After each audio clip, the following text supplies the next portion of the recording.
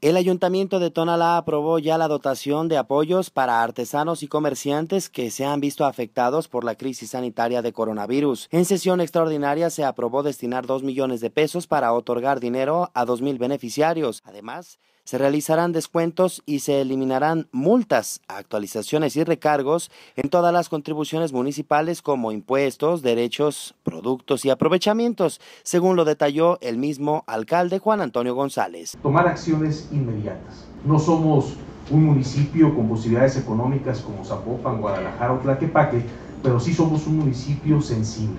Gracias a las buenas decisiones que hemos tomado en este pleno y haber llevado hasta el momento una administración austera, una administración ordenada, nos permite a poder acceder en este momento a la propuesta de otorgar estos apoyos.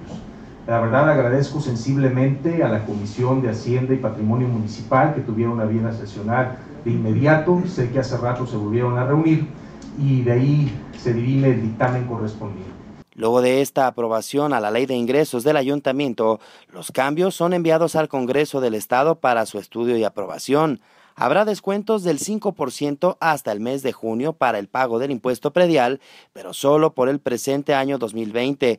Asimismo, se decretó la exención del pago de uso de suelo para comerciantes de espacios abiertos por el mes de abril y mayo. Para el pago de mil pesos por una sola vez a dos mil personas, se publicarán las reglas de operación 48 horas después de aprobado en sesión del 8 de abril.